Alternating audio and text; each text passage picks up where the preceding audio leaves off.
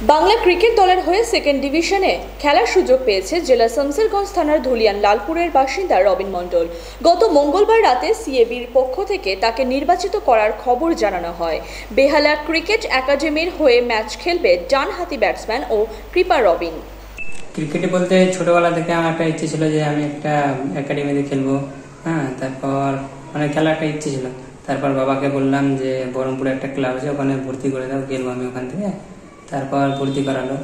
দিয়ে কিছুদিন গিয়েছিলাম ওখানে, মোটামুটি পাঁচ ছয় মাস মতো। হ্যাঁ তারপর ওই অফ হয়ে গেল সিজন যেমন ক্রিকেট সিজন অফ হলো, তখন প্র্যাকটিসটা বন্ধ করেছিলাম তারপরে আবার এই যে সামনে যেটা করোনা হয়েছিল, ওটাতে দু বছর ধরে বন্ধ ছিল। হ্যাঁ তারপর দু হাজার কুড়িতে ডিসেম্বরের দিকে আমি আবার বিবেকানন্দ ক্লাব জঙ্গিপুরে জয়েন করেছিলাম। তারপর ওখান থেকে খেলতে খেলতে আমার যে কোচ মানে যাকে আমরা বাবিদা বলি উনি আমাকে কলকাতা মানে সেকেন্ড ডিভিশন ট্রায়ালের জন্য পাঠানোর ব্যবস্থা করেছিল। দিয়ে ওখানে গিয়ে মানে দুইবার ট্রায়াল দেওয়া, দেওয়ার পরে সিলেকশনটা হয়েছিল।